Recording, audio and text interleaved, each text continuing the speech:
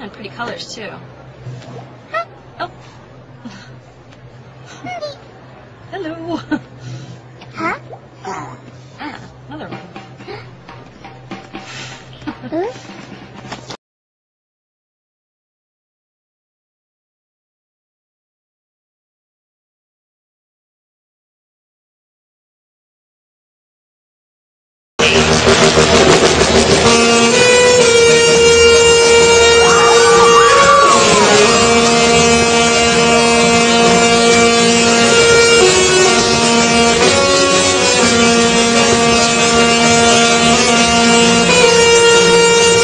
Electrical motors work on the principle that current-carrying conductors experience a force in a magnetic field. The force would be a maximum if it's linear to the magnetic field, and zero when it's parallel to the magnetic field. We see a north and south pole in the figure as magnetic fields. We see that the yellow part is the rotor. At the back of this there's a split directional commutator with two small graphite plates. The graphite plates would cause the rotor to shift, hereby giving it a direction to turn on. If you change the polarity of the electrical motor, you would find that it turns in the opposite direction.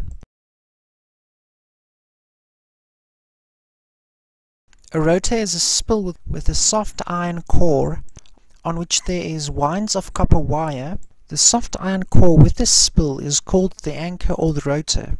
Both sides of this rotor experience forces which are in opposite directions. That then causes a rotational force.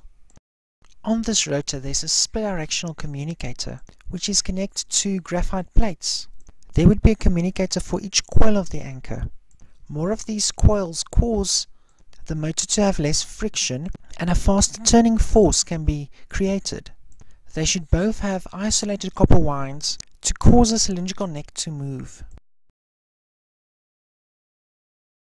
The electricity enters on the graphite plates, which are mounted onto the same axle as the split directional commutators and turns. Each one of the commutators cause a 180 degree direction change in each of the coils. The magnetic current is hereby turned by the coil. The graphite plates, which are called the brushes, presses against the commutator these brushes then deliver the current from and to the battery. If you change the terminals, the motor will change direction.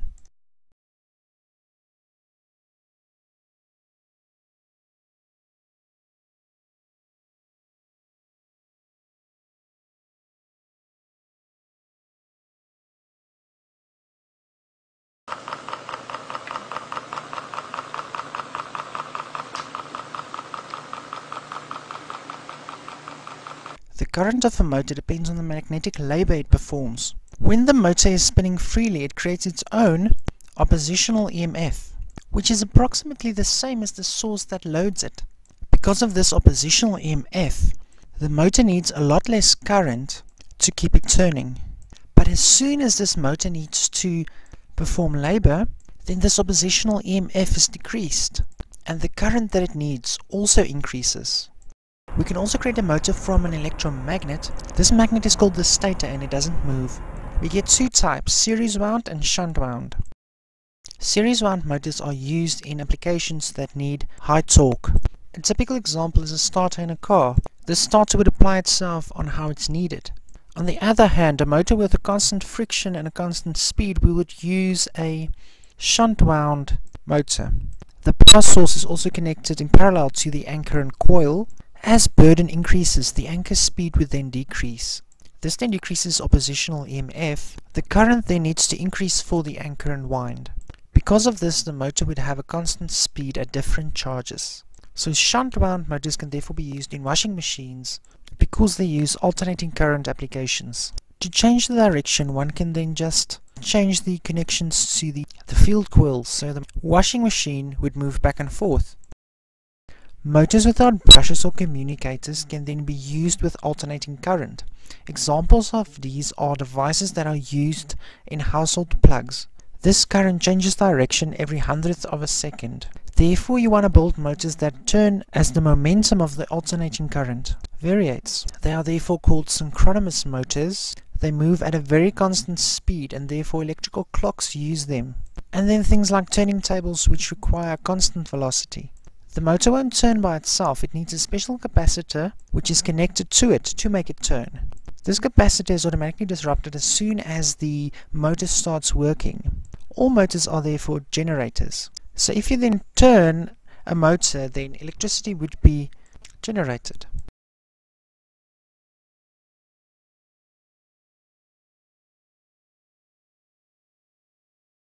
When a coil is turned in a magnetic field, it generates an EMF according to the changing position by which the coil alternates. Note that alternating current is transported through slip rings to external components.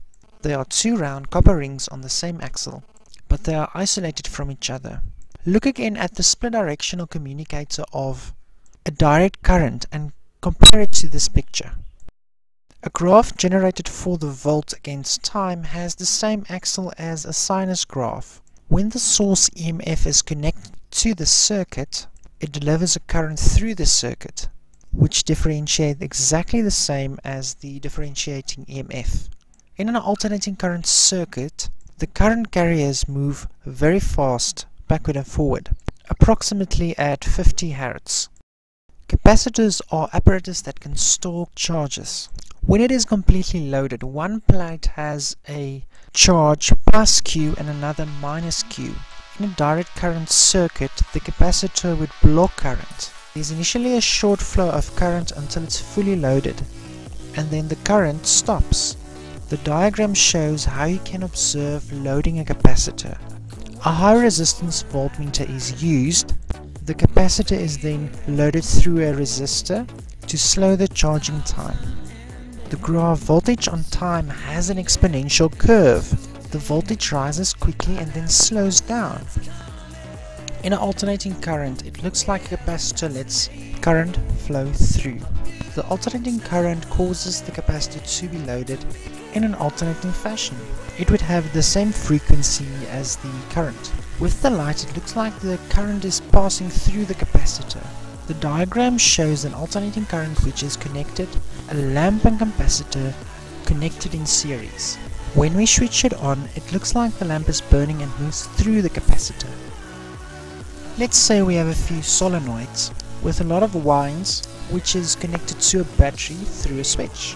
When the circuit is switched on, the current starts moving through it. The current immediately induces the magnetic field around the coils as the current builds up, so does the magnetic field. But the changing magnetic field induces an EMF in its own coils which works against current. This is called Lenz's law.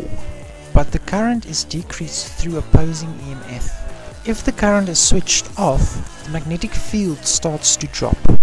It induces an EMF which tries to maintain the original current. The EMF is proportional to the changing current in the coil.